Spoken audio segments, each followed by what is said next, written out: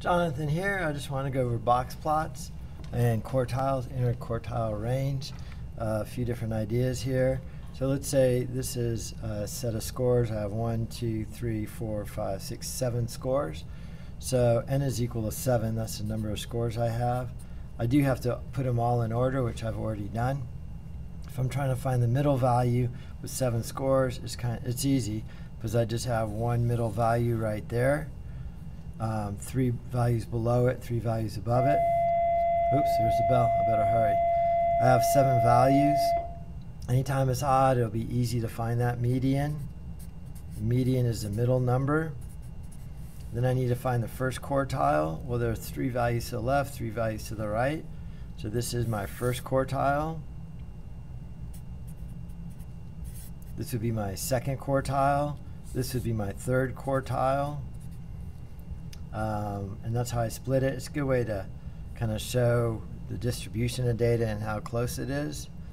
If I want my interquartile range, IQR, I take my third quartile 85 and I subtract my first quartile 75 and I get an interquartile range of 10.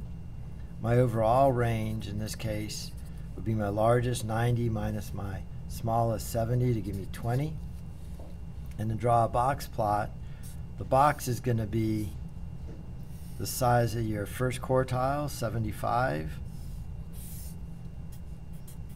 to your third quartile, 85, and then your last quartile is going to go over to 90, and your first quartile goes down to 70. So that's how you draw a box plot, find the interquartile range, the range, the median.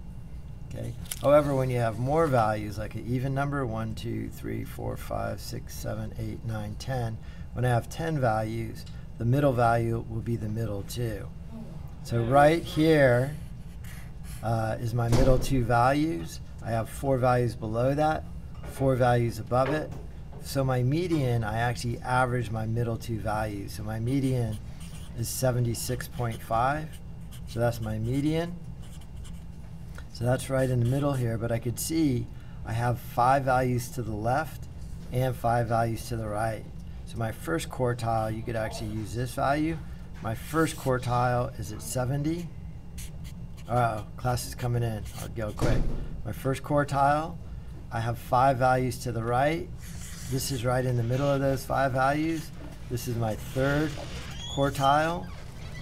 My inner quartile range is my third quartile, 88, minus my first quartile, 70, and I get an interquartile range of 18. My overall range would be the largest value, 95, minus the smallest value, 60. So my range is 35. My median, my middle value, is 76.5. Okay, well hopefully that'll help with the box plot uh, interquartile range, overall range, and median. Again, if you have an odd number of values, the middle value is your median. If you have an even number of values, then you take the two middle values and you average them. Thanks. Thanks for watching.